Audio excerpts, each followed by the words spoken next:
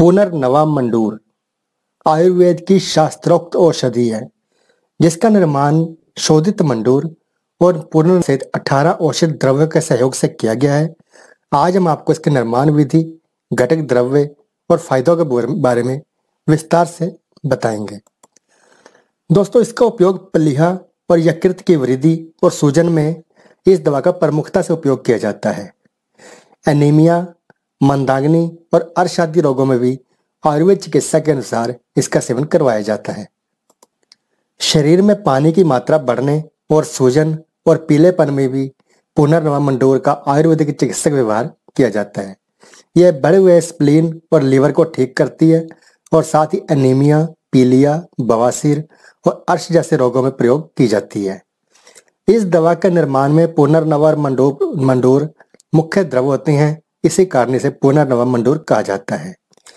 इसमें पुनर्नवा, सफ़ेद निशोध पीपर सौंठ आदि कुल उन्नीस आयुर्वेदिक द्रवों का इस्तेमाल किया गया है।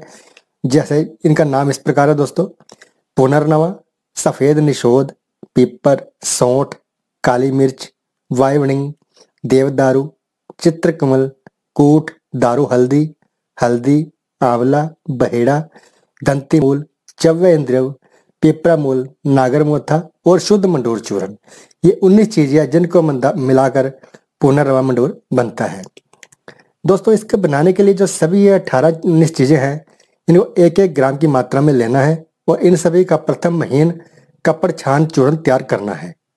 अब शुद्ध मंडोर के चूर्ण को दो हिस्से लेकर गाय के गौमूत्र में पकाया जाता है और अच्छी तरह पकाने के बाद जब गोल गाढ़ा होने लगे तो बेर की गुठली के आकार की गोली या वटी बना ली जाती है। इस वटी को आपने छाछ के साथ सेवन करना है और इसका सेवन। एक एक गोली सुबह शाम, एनीमिया, मंदाग्नि, अर्श या बवासीर के रोग में छाछ के साथ करना चाहिए और यकृत और पलिया की वृद्धि या सूजन में पुनर्नवादी कवात के अनुपात में इसका प्रयोग करना चाहिए। और अगर पेट में कीड़े पड़े हों तो तब भी इसका प्रयोग कर सकते हैं। ये दोस्तों, जो बहुत ही उत्तम दवा है, और सूजन को दूर करती है, रक्त की वृद्धि करती है, और एनीमिया जैसे रोग में भी बहुत फ़ायदेमंद है। शरीर के सभी विकार कृत के सभी विकारों में यह फ़ायदेमंद है। पलिहा की सूजन और वृद्धि में बहुत फ़ायदेमंद है। पाचन क्रिया को यह बिल्कुल ठीक कर देती है, अगर पाचन ठीक नहीं है आपका।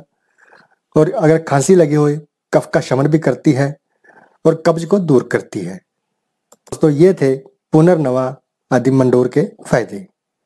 उम्मीद है आपको ये जानकारी अच्छी लगी होगी तो अपने दोस्तों, मित्रों के साथ इसको शेयर ज़रूर कीजिए, ताकि वो भी इसका फ़ायदा उठा सकें। और हमारे चैनल को सब्सक्राइब करना मत भूलना। आगे भी हम आपके लिए ऐसी ही स्वास्थ्यवर्धक जानकारियाँ लेकर आते रहेंगे। तो जुड़े रहिए रेमेडी अपडेट्स के साथ। नमस्कार, धन्यवाद।